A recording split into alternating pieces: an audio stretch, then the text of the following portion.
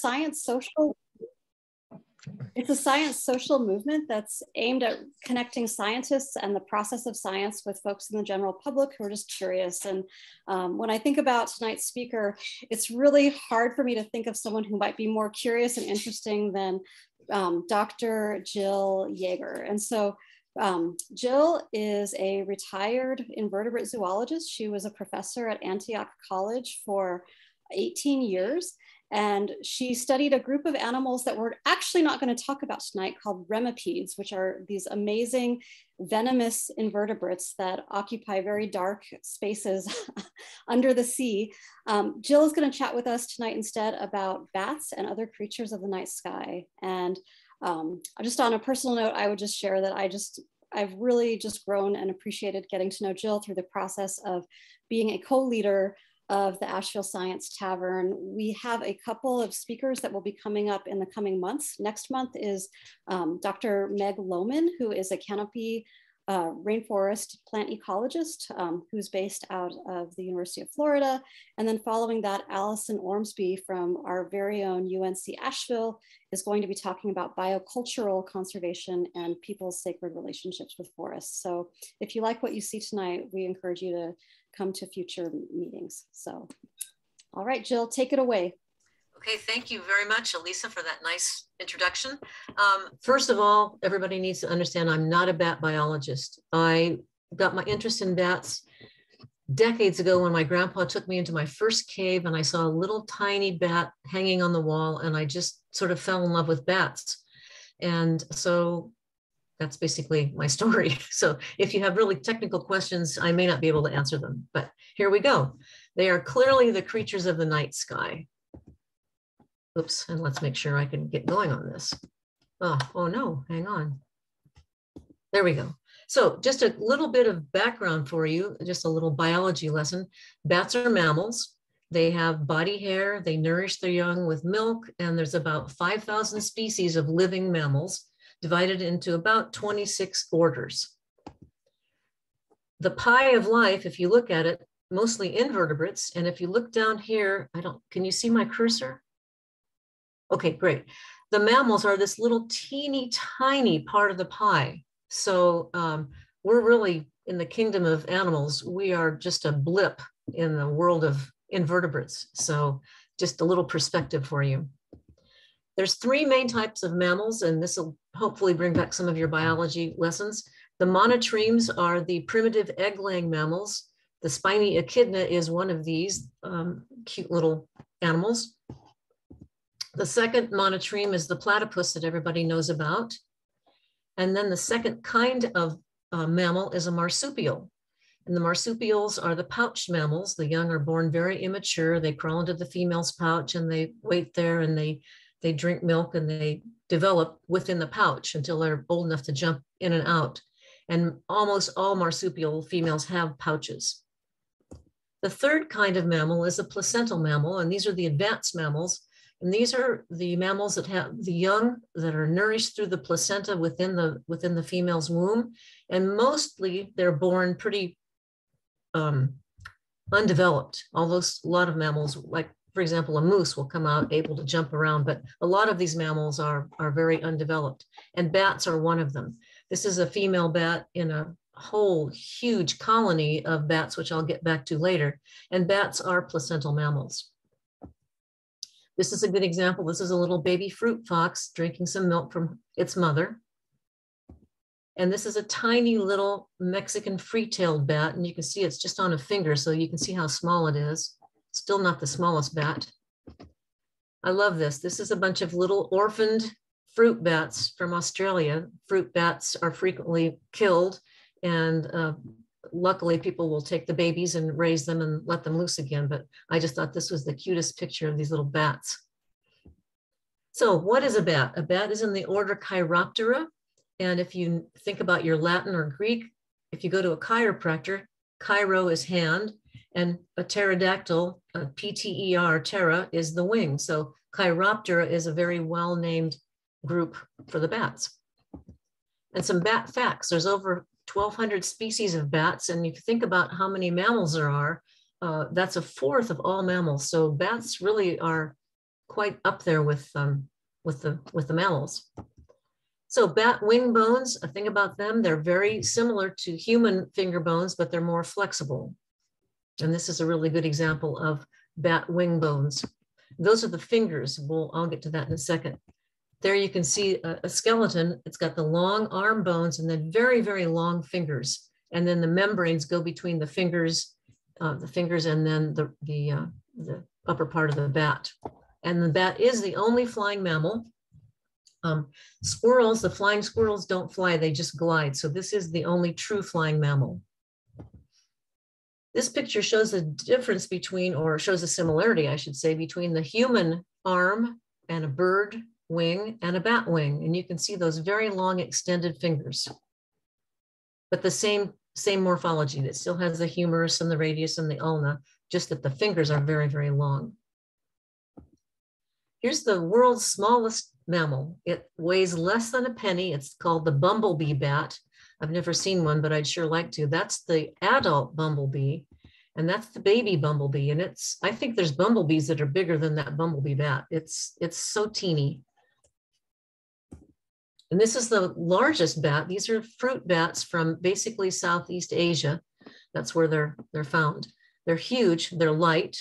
I mean, obviously she's holding it up, but, um, but they're, they have a wingspan of maybe five to six feet. They're, it's, it's a very big bat.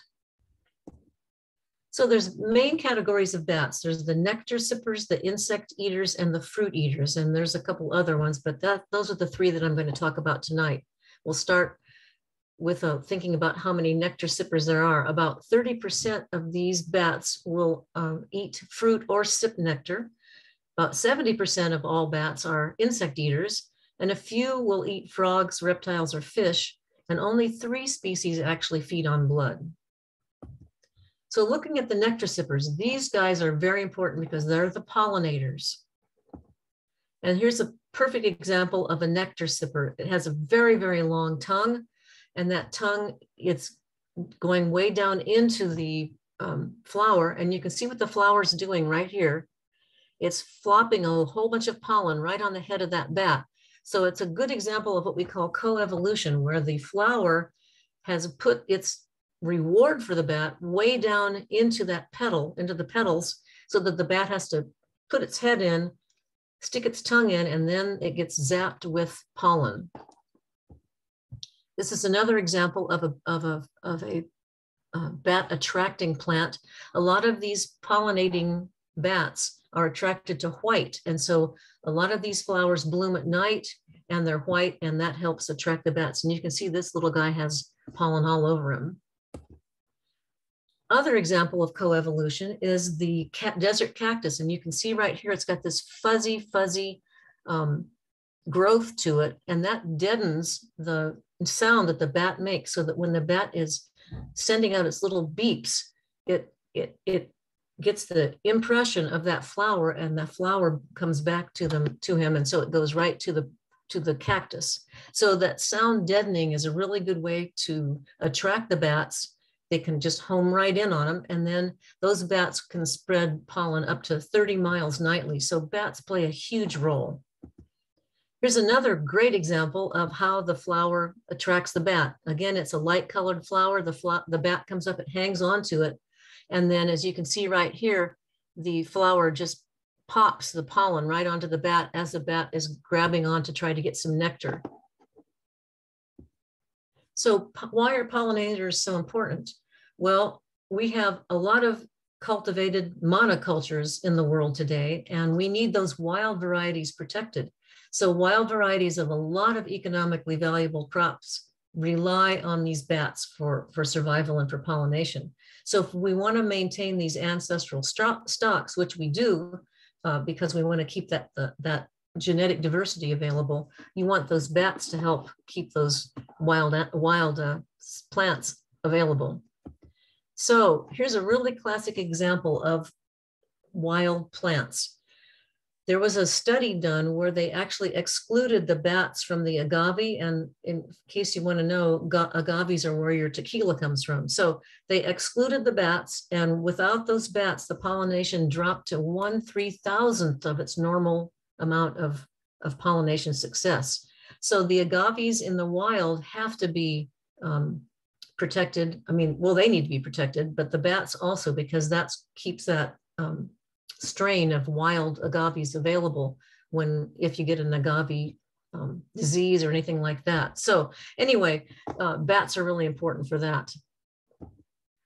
Just a few faces of some cute little nectar sippers, long tongues, um, fairly large eyes. They're not, bats are not blind, contrary to a lot of people. If you say blind as a bat, which I frequently do, you're, it's not really right. But here's a Mexican long-tailed bat. These long-tailed bats, um, I mean long-tongued, excuse me, long-tongued bats, these they're up to a third of their body length is how much their tongue can extend. And these guys are known for, if you put your hummingbird feeder out at night, full of food ready for your hummingbirds in the morning, you get up in the morning and your hummingbird food is gone. It's because these long-tailed bats have the ability to stick their tongues right into your hummingbird feeder, and they've learned to steal hummingbird food. So bat pollination occurs in more than 528 species of flowering plants. And if you know anything about the durian industry in Southeast Asia, that relies almost exclusively on um, bat pollination, the flying foxes. So they play a huge role in pollination.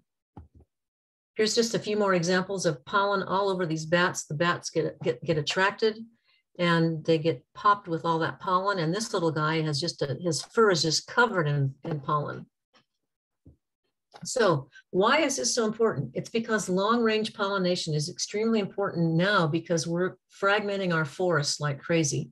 And so some birds won't even fly across an open field, but bats will. And so they're, they're really important for long range pollination. So let's look now at the insect eating bats. Lots of those, 70% of all bats are insect eaters. And they can eat from 600 to 1,000 mosquitoes and other insects in an hour. So uh, clearly the one on the right I really like because you can see what it's eating. Uh, and so, and, and mosquitoes too, but these, these also really can make a dent in the insect population. How do they do it? Well, their teeth are well designed for crunching through the exoskeleton. So if you've ever stepped on an insect, um, you know that they have that really hard exoskeleton. So the teeth of these insectivores are really well designed to crunch that exoskeleton. So why are bats important for this? Bats eat corn borer moths and corn borer moths are the ones that uh, when they lay their eggs in the corn and the caterpillar hatches and then it's just a disaster for the corn crop. So bats can save more than a billion dollars a year in crop damage around the world. So if you're a farmer or if you know people who have farms, you should encourage them to put up bat houses because that would lessen the amount of uh, herbicides and insecticides and well not herbicides but insecticides that are needed. And that would make a big a big difference, I think. So how do these insect eaters find their prey? It's echolocation. They send out a beep and then that that little beep comes back, it hits the target and that bounces back and they can tell right where their prey is. This is an example. You can see here, they, the bats will send out these clicks and it could be double clicks, all kinds of different clicks. And then it, those clicks come back to them and they know exactly how to get these insects. And I'm going to click on this right now and we're going to hear a few bat clickers. We hope this will work. Yeah, come on. Okay. So the first bat that you're going to hear is called a pallid bat.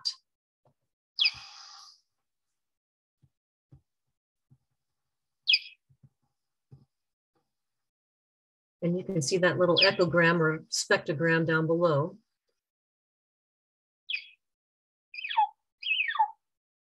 Right, the next one is the big brown bat. That's a very common bat found around here.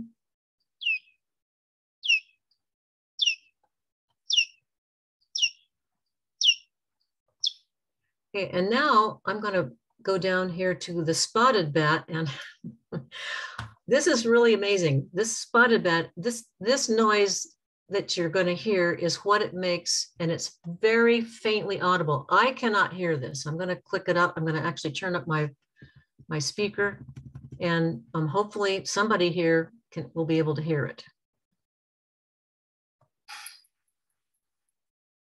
I heard nothing. So here it is slowed way down 10 times slower.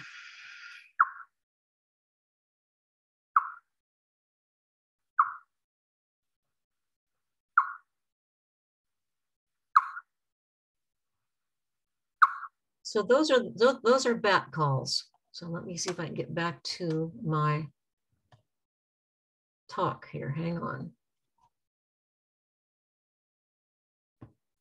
Oops, hang on, let me see. Okay. Um,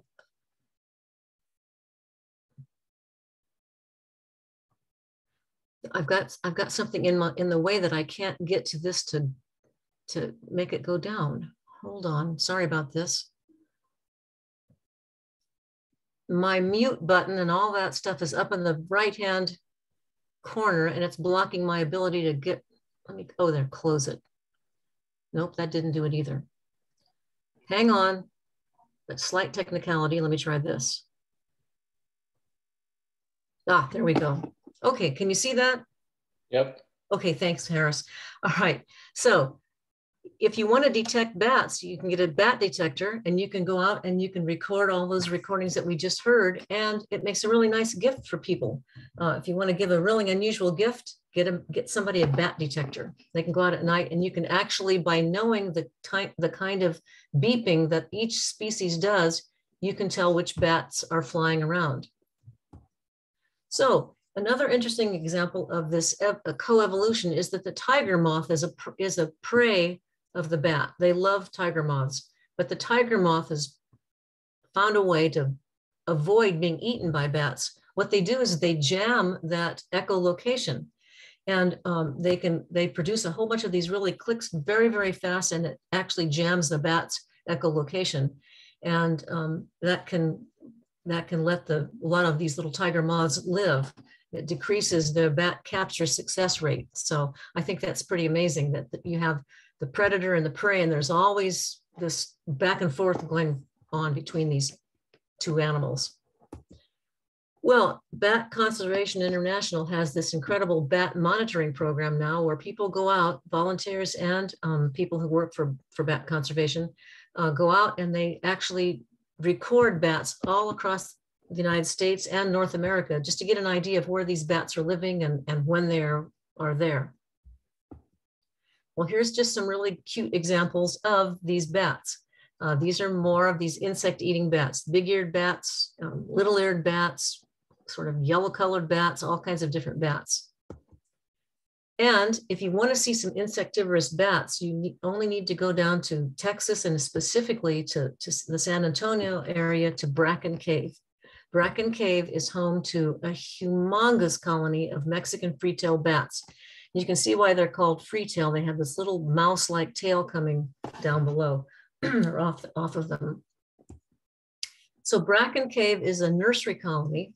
It averages about four to even 500 um, pups per square foot. I mean, we're talking this cave is loaded with, with pups, bat pups, millions of these little pups squeaking and jostling around and crawling all over each other.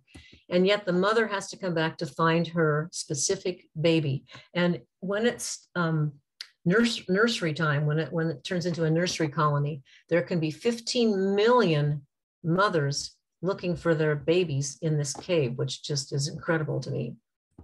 So how do they find each other? Well, the, the, the, the, pups and the mothers have very unique voices and they have a scent. And so when they get to really maybe within, the, the mothers know roughly where the where the pups are in the cave. When they get close enough, then they can detect their own specific pup by its voice. And, and despite all these thousands and millions of these little baby bats flying around, or not flying, but wiggling around, uh, they find each other and the mothers can nurse and the pups grow up and everything is just fine. So this is an example of Bracken Cave. It's a fantastic natural phenomenon. If you ever get down to central Texas, you should go to Bracken Cave because these bats these millions of bats takes it takes hours for them to leave the cave they just fly out by well you can see there it's it's incredible so that leads to the topic of bat guano So where you have a lot of bats in a cave, you have a lot of bat guano. The bat guano is extremely rich in nutrients and bacteria, and it's been used as a fertilizer. It's still used as a fertilizer today in many parts of the world. And during the Civil War, it was an, an ingredient in gunpowder. So th this is an astonishing amount. From 1903 to 1923, at least 100,000 tons of bat guano were taken from just one cave and sold to fruit growers in California. To me, I wish they were still doing that because think how much you could save on fertilizer. Uh, and there, we wouldn't have quite so much um, pollution of our waterways if we could use natural fertilizer. And in Texas during the 1800s, bat guano was the largest mineral before they discovered oil. So it, bat guano has played a huge role. Um, and now it's mostly used in uh, Southeast, Southeastern Asian by, by people there. Not too many people uh, have bat guano, although I think you can buy bat guano from certain uh, nursery places, shops, maybe even on Amazon. I haven't looked, but anyway. So each free-tail cave, though, this is what's so amazing, is it's a huge treasure trove for biotechnology because the bat guano contains amazing amounts of bacterial species. Uh, and a lot of these species are only found in caves. And so you know that we're having problems with antibiotics. Um, we're becoming resistant to antibiotics and things like that. And so um, a lot of these caves are being looked at, these, these microbes are being looked at like crazy to see if we can find more ways that we can um, look at um, medicines. So it's, a, it's really good for biotechnology. Well, back to Texas again. If you ever get to Austin, a fantastic city, you have to go to the Austin, to the, to the Congress Avenue Bridge because living under that bridge, just by design of the bridge, it was sort of a fluke. It wasn't done on purpose. The, it's, it was, it's perfect for these bats to go in and roost. And it's the largest colony of urban or the largest urban colony of bats in the world. And you can see that you've got people on the bridge just watching the bats fly out. There are coffee shops all around. There's probably pubs too, where you can just sit next to the bridge and watch these bats come and go, which I think is really amazing. And Austin welcomes people to that too, which is, it's a, it's a real draw for a, a lot of tourists. Well, now thinking of all these bats, I have to talk about Pseudogymnoascus destructans. And with a name like destructans, you may wonder what that is. Well, Here's the problem. If you see that cute little bat and that little white nose, this is called white nose syndrome. It, the, it's the, the um, bacteria is, or the fungus, excuse me, is causing that white nose. And this white nose syndrome has killed more than 6 million bats since it was discovered in 2006 in one cave so since 2006, more than 6 million bats have died, mostly insectivorous bats, which means there's a lot of um, insects now that could have been eaten by the bats. Why is this fungus a problem? Well, if the fungus attacks the bats and starts living on the bats, these little hibernated bats wake up more often while they're hibernating. And anytime a hibernating animal wakes up, what happens? They're using up their stored fat reserves. And a lot of them will actually fly out of the cave. They fly out, it's winter, there's no insects, there's nothing to eat. They'll freeze to death or starve to death and they can't, or they won't get back to the cave in time. It's, it's really sad. Here's some examples of that white nose syndrome. Well, where is it now? Since it left one cave in 2006, it's all over the United States now and uh, Canada. It's probably down into Mexico by now too, but it's mainly here in North America.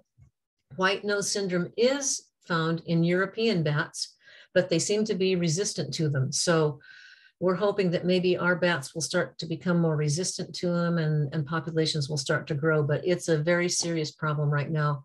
And there's no, there's no way to treat them uh, at the moment. There's, there's no treatment for white nose syndrome.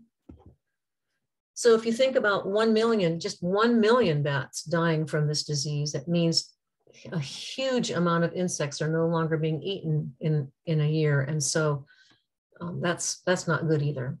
I'm, I'm really one of these people who really am against using insecticides and herbicides and all of these biocides. I think we need to try to think of things a little more naturally.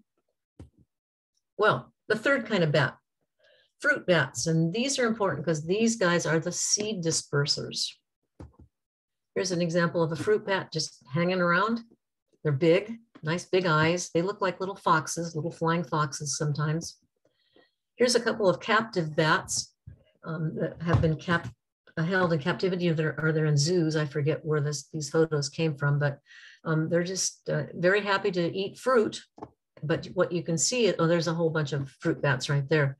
There's over 3,000 plant species that depend on bats for seed dispersal. And that's really important that, that the bat plays these roles.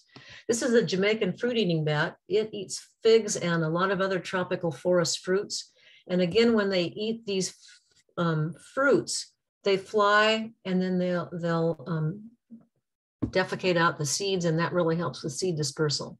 So the flying fox has been uh, shot and killed in, in uh, Southeast Asia a lot for a number of reasons by fruit growers because they think that the bats are eating their fruit. But anybody who's ever gone to the store to buy a mango, you never get a good ripe mango. Why? Because they pick them green. So, and then and then you keep it in your kitchen until you hope it finally gets edible, which mine never seem to get edible. Um, but anyway, what I'm getting at with this is that the people who grow these fruits pick the fruit green. Bats are not going to eat green fruit. If you have a, a picker who comes and they miss a few fruits, then the bats will go in and they'll eat the ripe fruit, but they're not they're not decimating fruit growers produce. So that's one thing I wanted you all to see that you don't, they're not eating these green fruits. So seed dispersal, again, they really help restore logged forests in the tropics. We were talking about pollination and forest gaps. If you have gaps in the forest and, and we are fragmenting our forest like crazy, bats will fly across a fragmented area and they will drop those seeds, which really does help restore a lot of these logged forests. Okay, the other kind of bat, and I'm sure you're waiting for this because it's nearly Halloween and you need to know your vampire bat facts here, folks. So vampire bats, how does it feed on its victim? And they're, they're just as cute as other bats, I think, um, but they have teeth that are, uh, you can see right here, are very, very sharp. They're like little razor blades and they're well designed to uh, break the skin of their, of their victim. So do bats suck blood? Vampire bats do not suck blood. They're very light, they're very stealthy. They'll fly down. And uh, example here, they're eating, they're, they're drinking blood from a pig. They'll fly down, they'll land next to the pig very quietly. They'll crawl over, they'll crawl up the pig's leg, and they'll get to a place where they think there's a good chance of getting blood. They use that razor sharp tooth to just make a little slit in the in the skin and then they'll drink the blood like a little kitty laps up milk. They don't suck it, they just lick it up when it starts to ooze out. And what's interesting is that their saliva has an anticoagulation aspect to it.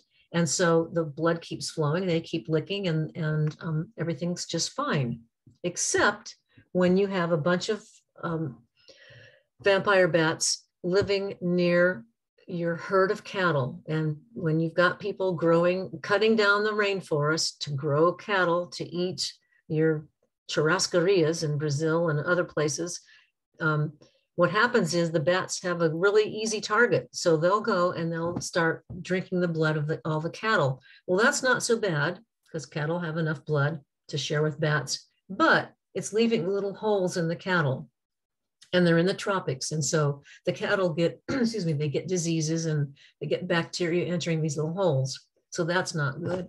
excuse me.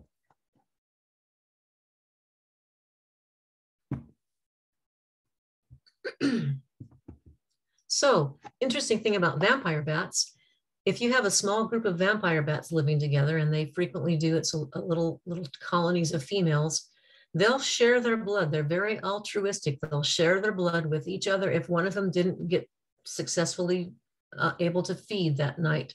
And they'll actually regurgitate some of their blood to feed the hungry friend, which I think is really nice. So if you think of a, a vampire bat, they're not they're not all bad.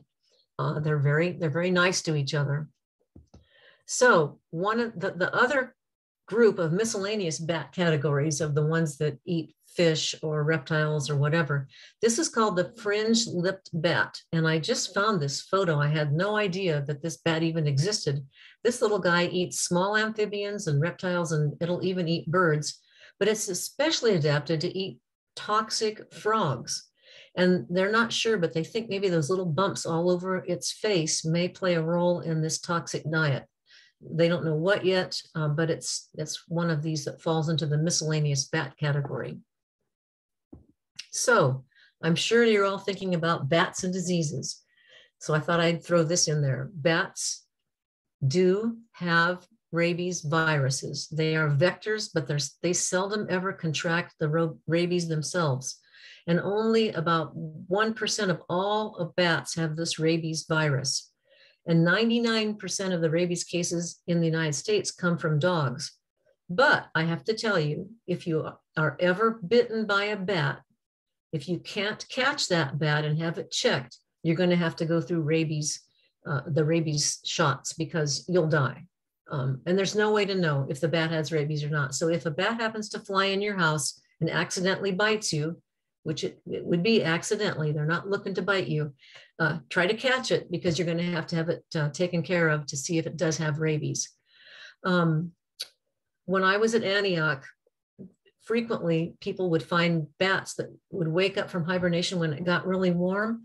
And so I would have to go get the bat and I'd keep it in, I put it in a plastic or in a styrofoam box and keep it in the refrigerator at about 45 degrees and put it back into hibernation.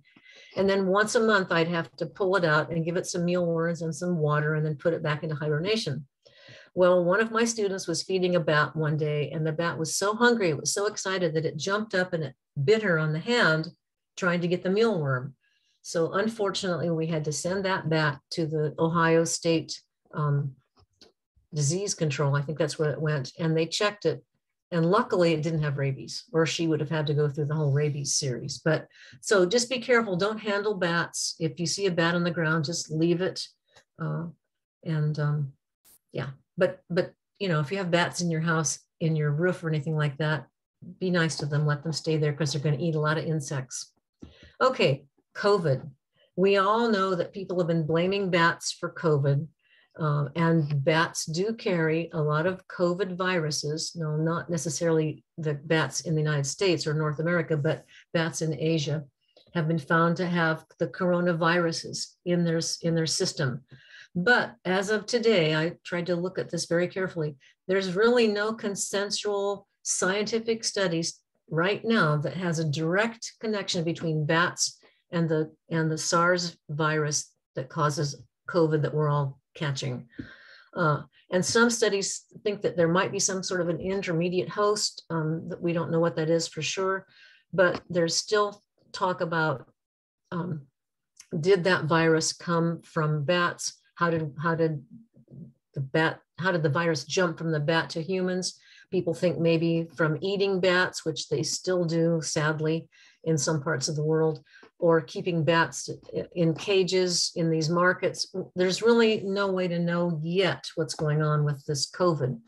Um, but one of the things I can guarantee is that we are destroying habitats and we're, we're exploiting wildlife. And this is causing a lot of new pathogens to jump into the human population.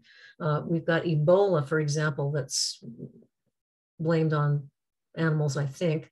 Uh, but we have a lot of these pathogens that are just waiting there. And right now, all of our um, tundra is thawing, and who knows what kind of viruses are are in this these um, the frozen tundra. Uh, not tundra. I'm think, not thinking the quite of the right word, but anyway, permafrost. That's it. When the permafrost is melting, there's a whole bunch of viruses and bacteria that have been locked in for eons. And so, what's going to happen? We don't know. But the thing to think about is that when we're, we're destroying habitat and we're taking animals out of the wild, there's a really good risk that these pathogens are going to jump to human population. But we have lived alongside bats now for centuries. I mean, people have been going into caves and gathering guano and visiting caves and having no problem whatsoever. So the main role of, that is, or the, the story is that we are healthier and we are safer when we conserve wildlife and their natural habitats. So back to the COVID virus. This is very interesting. Bats may hold the key to the next breakthrough vaccine or treatment because they have this unique ability to tolerate these viruses. They have the viruses, but that doesn't mean that they themselves are contracting the diseases. They're just a vector. So, how are they able to live without uh, getting the virus, but yet transmitting it? So, they're really good models to understand how, how to deal with these viral infections. And believe me, we're going to have more. Uh, so, condemning bats really is, is a mistake in, in my mind. So here's some faces of bats, just a couple of photos of some, some bats. They're so unique. There's just an amazing variety of them. They're cute, I think, most of them. Uh, this is a cute little spotted bat. These are my favorite bats of all. These are Honduran white tent bats. They look like little white pigs with little noses and little yellow ears. They're so cute. And what they do is they call them a tent bat because they'll they will fly underneath a great big huge uh, uh, vegetation, a great big huge plant. I can't think of the name of these plants. And they'll chew right along the vein. And then the, the plant will go like this. And so then the bats have a little home. And if they're, since they're in the rainforest, they can stay dry at night when they're all gathered together. So these tent bats are just, they're just so cute. My, my favorite bat. So here's a little punk bat for you. And I, I think if you like bats and you're concerned about um, having no mosquitoes around your house and you want to really help bats, the thing to do would be to put up a bat house. So not only does a bat detector make a good gift, a bat house makes a really good gift too. So we've got holidays coming up, you've got birthdays, you've got weddings, give somebody a bat house for a wedding present. Uh, demonstrate your commitment to, to nature and, and these little bat tenants will pay you back by giving you lots of uh, well, not lots, but putting some guano on your deck maybe, and you can put it in your garden, but mainly eating the insects that are all around your house. It's not easy to get them to come in. You have to have a few tricks and, and Bat Conservation International has a lot of information about bat houses. And that's what I'd like to say is um, Bat Conservation International is a wonderful organization. This would be another good gift to give somebody just a subscription to their um, to their nice little newsletter that they put out. So think about joining Bat Conservation International. It's a it's a wonderful international uh, group of people that really tries to preserve and protect bats around the world. So basically the future of bat conservation is in our hands. And I hope that you think that when you see a bat now, at, uh, especially around Halloween, that you'll think a little bit more kindly about them and you'll have a little more knowledge about these wonderful little creatures. And with that, I'd like to say happy Halloween from the Asheville Science Tavern. Thank you.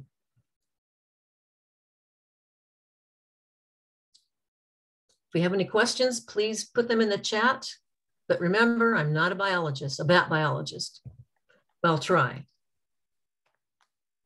Thanks, Jill. Oh, you're welcome. Do you want to field some of the questions that have been in the chat? Yeah. And of course, I guess I'll start with myself because uh, I was the first one to put a question out there. But um, so, Jill, do you know how effective bats are compared to as pollinators compared to insects or birds? Specifically, no. I mean, what percentage of bats pollinates versus insects and birds? No, but they're right up there with them. But it, but but it's really specific. I mean, they only will pollinate specific plants. So I would say, obviously, insects and birds are a little more general. They're more generalists. Okay. Because uh, obviously, you think about that, bats come out at night, and not all the the flowers bloom at night, but all the night blooming flowers are blooming for either a night moth or or the bats. So right. Um, and then another part of the question was so those those specific flowers, you know, you said that they were white colored. Have those been studied at all in UV wavelengths because you know they have the new night vision technology for yeah. cameras and all that stuff now. So I was wondering if you know maybe the bat vision can see in UV or what Ooh. the deal is with that. That's really a good good thought. I, don't I don't know of any studies that have done that, but then I haven't looked at that, Harris. I, I should look at that. I do know that a lot of those desert cacti have that fuzzy stuff to help them, you know, help help the bats home it right in on that flower. So I don't know. Good question. Okay. Well, we'll get to some other people's questions now. Um, let's see. Got one from Elisa.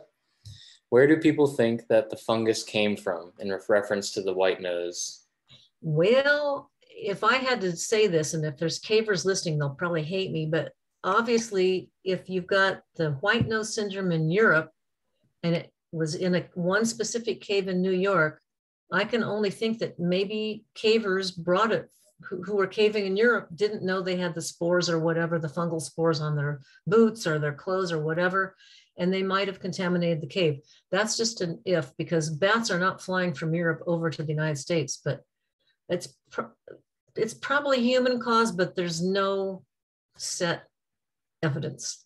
So any caver out there, sorry, but I tend to think that we're spreading it by caving. But I have to say that the caving community is really, really watching this because if you are a caver and you're going into a cave, you have to, you basically, when you go to these caving conventions, there are huge areas where you sterilize your clothes after you've been in a cave. So we're very conscious about spreading uh, white nose syndrome, but it's a little too late. So, but we're still trying to prevent it. Uh, thank you. And then another kind of fungus question was from Chris is why is the fungus not in Florida? Well, it's a, so for now, it's a cold loving fungus. Uh, if the fungus starts evolving and, and starts to, you know, move its way down on, now I notice that there's some that they have found in caves in Texas. Caves in Texas are warmer than caves in New York. So it could be that the fungus itself is, is evolving. So yeah, but it's supposed to be only a cold, cold loving fungus, but it could be evolving too. Thank you. Um, another question from Elisa is how big is the fruit fox? The mango pit is giant. Yeah, the those those those guys are big. I mean, they have a wingspan of at least six feet, and yeah, they're they're a big they're a big bat so they can have no trouble eating a mango. Well, but with the mango, they, they mainly, may, mainly only eat the fruit. I don't know that they disperse a mango seed. That's a good question. Although there's seed dispersals, I mean, they disperse. Yeah, that's a good question.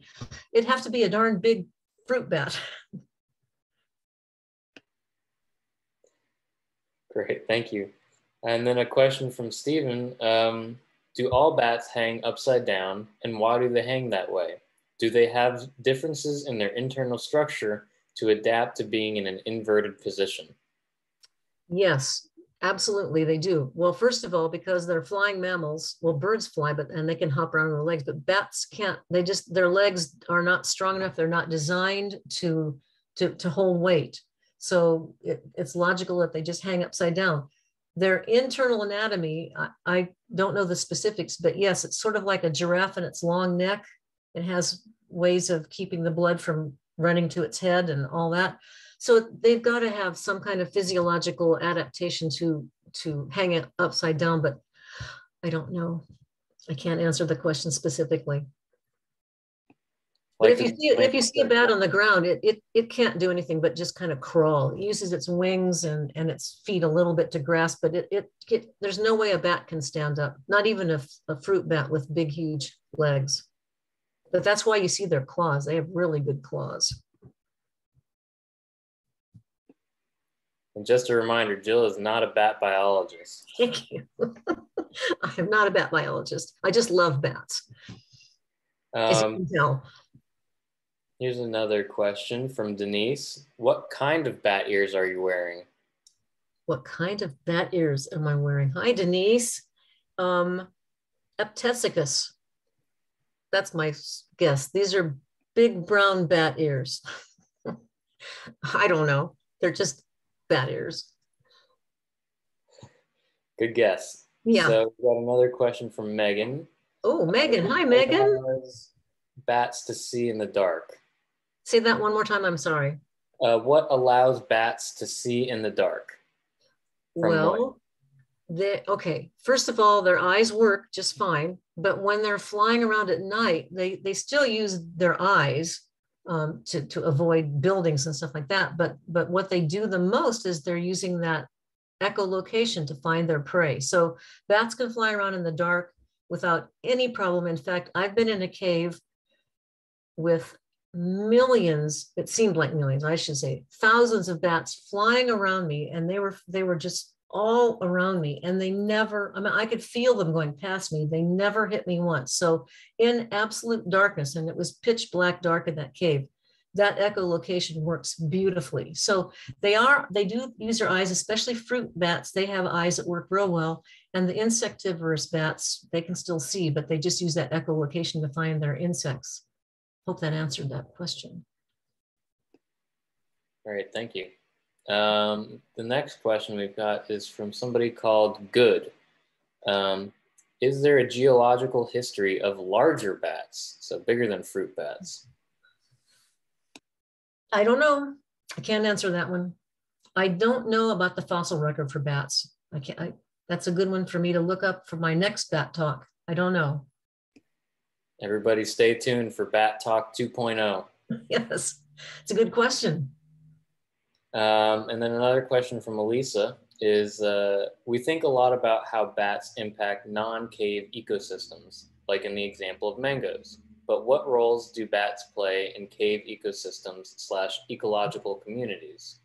Excellent question. I should have touched on that one too.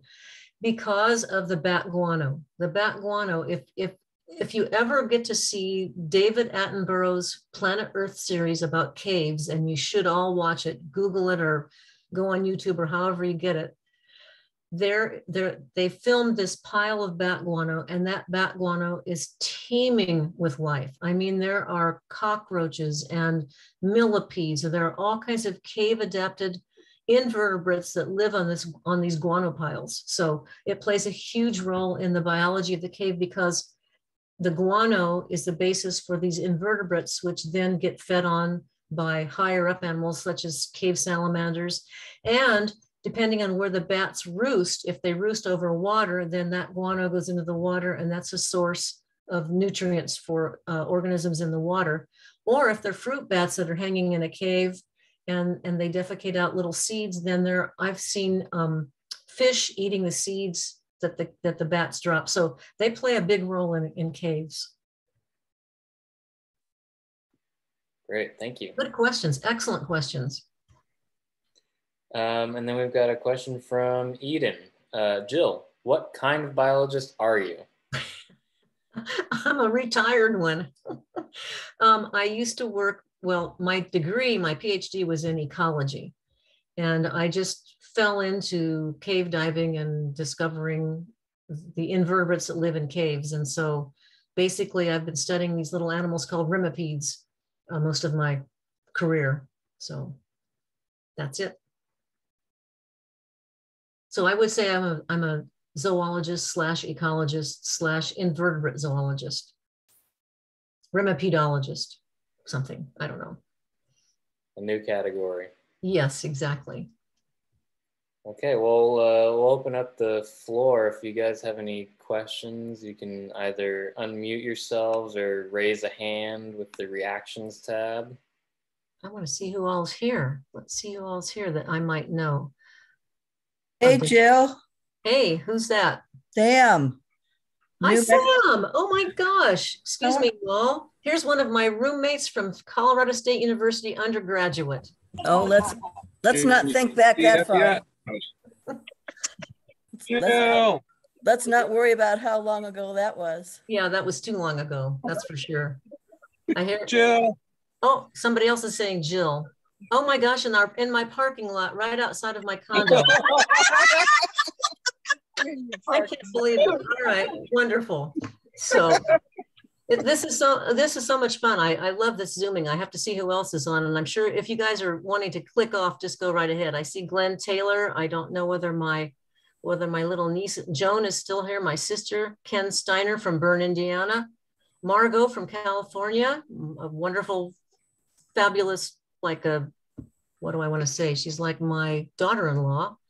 Who else? Lots of people. Anyway, thank you all for being here. So who else is saying hello? Jerry. Jerry. Oh, hi, Jerry. There's another friend. Okay.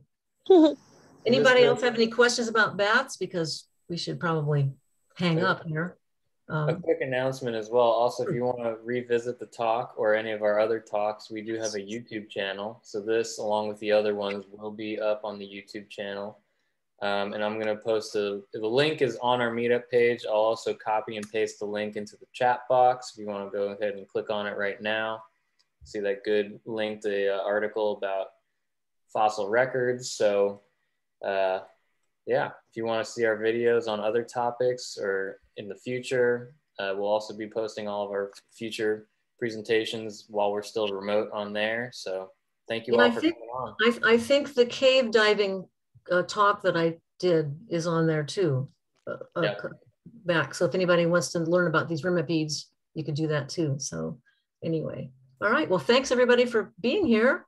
Appreciate it. Thanks, Jill. Thank you. Thank you, Jill. Thank you. Thanks so much, Jill. Bye. Good one. Thank you, Bye. Thanks, everyone. California. Hello, California. Hi.